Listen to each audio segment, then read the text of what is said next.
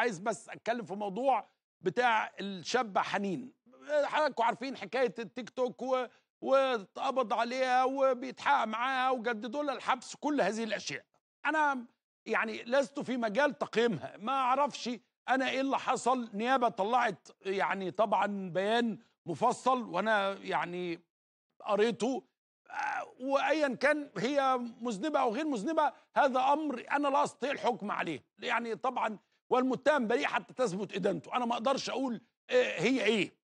لكن اللي حصل في موضوع حنين ده والتيك توك وتاخد فلوس علشان تقف قدام كاميرا وكل الكلام ده بيرجع تاني يسأل هو إحنا لازم نراقب عيالنا قد إيه؟ أنت اللي بيجرى إيه؟ بنتك أو ابنك بيخش الأوضة ومعاه الموبايل. بيعمل إيه؟ هتقول لي أنا مربيه كويس أنا ده مؤدب دي مؤدب على عيني وراسي. إنما وارد جدا إنه يقرأ عرض زي ده إنه آه، تعمل 3000 دولار في الشهر كل الحكاية حبيبتي انه اللي مطلوب منك تقفي قدام الكاميرا. أنا ما بتكلمش عن حنين في حاجات كده إنه ده تشات عادي آه بس تبقي لابسة حلو وحاطة شوية روج. طيب آه جايز الوضع كده. وجاء على فكرة وارد جدا تقول لها إيه طب يا حبيبتي طب ما تخلينا نكلم بعض. فتكلمها تقول لها طب وريني انت لابسة إيه. طب فتصورها فتبتزها. هل ده علامة استفهام؟ أنا بحاول أفكر معاك بصوت عالي. هل لازم نرجع تاني نقول للعيال لو سمحت أنا لازم أبص في الموبايل بتاعك؟ أنا لازم أبص في الموبايل بتاعك. أنا لازم أعرف أنت بتكلمي مين ولا لأ.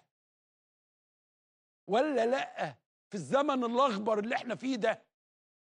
على فكرة موضوع حنين ده برضو خلوه على جنب. هي عملت ما عملتش آه عاملة بتاع اللي اسمها الوكالة آه جابت ترخيص بتوع التيك توك ادوها 400 دولار في. كل التفاصيل اللطيفة اللي حضراتكم تعبين نفسكم بيها ديت أنا مش واقف عندها. شوف بقى إيه. أنا واقف عند عيالنا.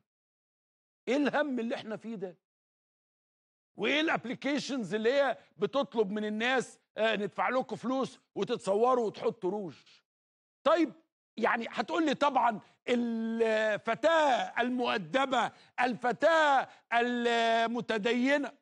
بس ضيع الودان بقى. وإغراء المال والحواديت دي كلها. هل هل إحنا لازم نراقب أكتر؟ هل لازم أعرف الهيستوري بتاع ابني أو بنتي دخل على اني مواقع؟ بيعمل إيه في التيك توك؟ بيصور إيه؟ بيفتح الكاميرا قدام مين؟ ما أنا بعد شوية هيجي يبتزوها ويقول لها صورناكي. ما اعمل لنا واحد اتنين تلاتة. وأكم من حواديت كده ومآسي.